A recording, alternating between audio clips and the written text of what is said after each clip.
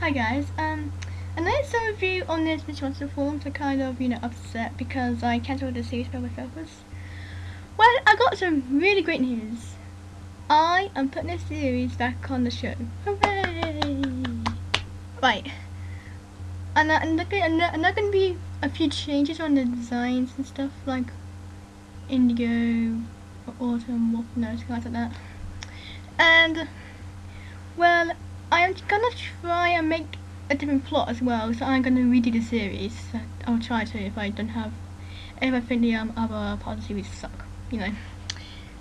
And um, I'm gonna try out some new characters like Sparkle, the um, Queen of Vulpes Vulpes, and the um, and in the end there's to be a battle between Icicle, the Dark Foxes, Shadow, Indigo, and some guys like that.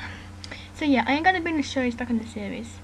I hope you're happy now because I ain't getting a lot of bleeding and um goodbye.